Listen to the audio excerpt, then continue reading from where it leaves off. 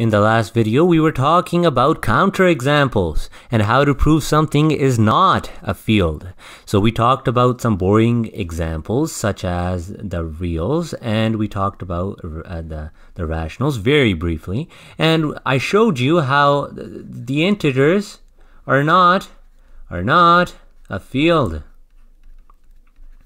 In this video, I will be talking about a very fun uh, the, the, concept, which with, with tropical numbers, which are almost which which are almost a field. And before I do that, I think it's worthwhile mentioning that the complex numbers, the complex numbers are a field are a field. And if you don't know what they are, then well, the, the, the, the, complex have have the square root of negative one inside of it, which would not be possible in the in the reals. So anytime you go into a different set of number systems, it's because you are feeling some sort of some sort of operation in the, in the field that you are currently working in. And you can't do square root of negatives in the reals, and you probably know that from your high school classes.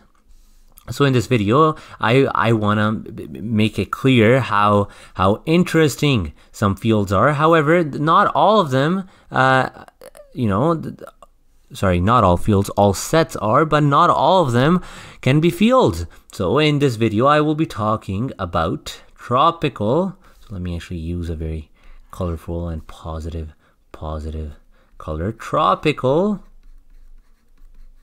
numbers tropical numbers. So what are these? So these were created uh, by by some Brazilian uh, mathematician, and these are a fun example of something which is almost a field. So here the field, or well, the the, the set uh, f is defined in the following way. So f is defined as uh, the, the integers, which are being unionized with infinity. And here, infinity is larger than any integer. So if I, so for example, if I were to take some some sort of value, with, with so if if if x is an element of f, then then uh, x plus infinity would be infinity. That's how we are defining it uh, in here. And th the best part about tropical numbers is that their addition and multiplication is really interesting. So uh, if you were to take, and it's not this, it's it does not follow the societal norms that we have been um, obliged to follow since grade one. So if normally if we take x plus y, it just means well it's x plus y. So if I had three plus two, that means 3 plus 2, which we know it's 5. However, in the tropical numbers, addition is defined in the following way. So addition is defined in the following way. When I use three lines or when I use a semicolon uh, with, with, with, with the equal sign, this means definition. That's what this means. So addition is defined as the in the following way. If you have x and you have a y and you want to add them since it's not normal addition i'm going to make it a special a special addition with the with the plus sign and a circle around it so if you want to add two elements in the tropical number system then what you do is you actually take the minimum of the two elements and I'll show you an example. So before I do that, if you want to multiply two elements, the, the multiplication is defined as so so you you have your two elements, and if you want to multiply them, and and again, I'm this is not the, the multiplication that you are used to, so that's why I have circles around it to denote that it's not normal um, multiplication. So if you want to multiply two uh, the two elements, that's the same as adding as adding them.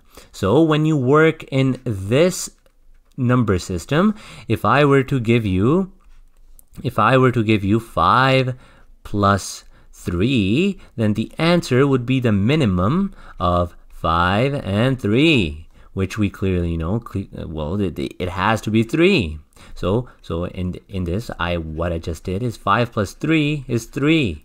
And if I were to give you another example where I was saying, well, what's 10 times uh, the, the, the I don't know, like a like a 100, then I would be doing 10 plus 100 and it would be 110. So what I just did is 10 times 10 times 100 will be 110.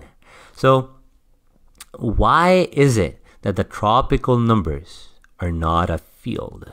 So as I mentioned in a previous video, uh, tropical numbers basically don't have to, you know, not follow numerous axioms. All you need is just one axiom that, you know, this, this tropical number system fails, and that's all you need in order to prove or show that this number system is not a field.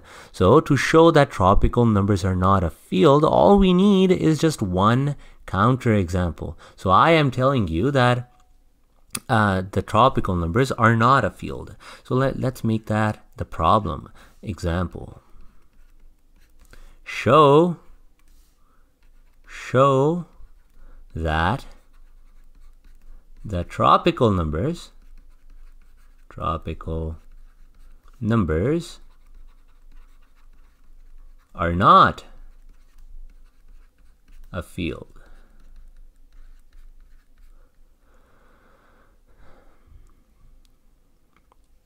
So in order to do this, all we need is just one counterexample. Just like we did for integers, we just need one counterexample. And my counterexample, so my answer, my answer to this is going to be this. So a counterexample to this is you know, using AI. And what's AI? Additive inverse. So let's take, so let's recall what additive inverse was. Additive, so additive inverse was defined in the following way. We talked about this.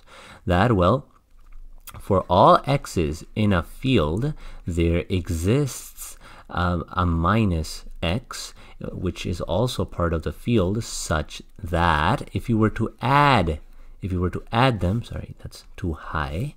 If you were to add them, you would get your additive identity, which is zero. So uh, in in this, a counter example would be this. So let's take so my counter my counter example example is let x be zero. Let x be zero. Then anytime we do x and our special addition with another number, it will always be what? Remember how I defined addition? Uh, sorry, uh, yeah, addition in tropical numbers. It's the minimum. It's the minimum uh, of the of the two values of x and y. If x is zero, then then for any value given, for any value given, it will always be what? Zero. So what does this mean? Example, uh, if I were to give you 5 plus 0, then that would be the minimum of 5 and 5 and 0, and it will be 0. You give me any value, it will be what? 0, unless you give me a negative value. So the only so so the only response so the, the, the only answer to this will be what? Either 0 or less than less than 0 or a more uh, the mathematically appropriate uh, method of writing this would be less than or equal to 0. Remember how in the starting of the video I talked about infinity. I said that if you were to take any element and you were to add infinity to it, you would get infinity.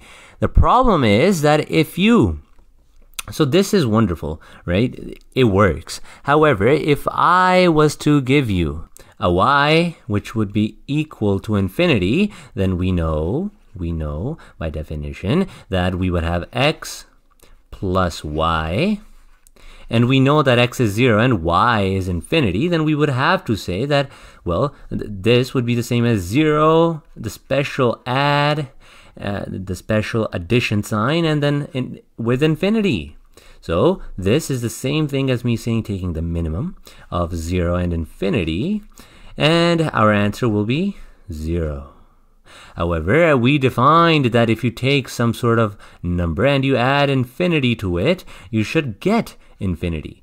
Clearly, we added 0 to infinity and it gave us 0. This clearly breaks of our definition. This is proof that it fails it fails what the additive identity stands for. And one counterexample is more than enough to show you hopefully that that this is not a field. And i have repeated this over and over that all you need uh, is is just one counterexample. And and the infinity example is perfect because we defined it at the start if you remember. If let me go back. We said that if if you take an element and it and add infinity to it, you will get infinity. Clearly, we added we added um, zero to infinity. We got zero, and it's this axiom that the tropical number system fails. Every, all the other eight, it does successfully follow. So uh, this is how you prove that the tropical numbers are not a field. And of course, at the end of every proof, you want to put Q, E, D. I hope this video was helpful.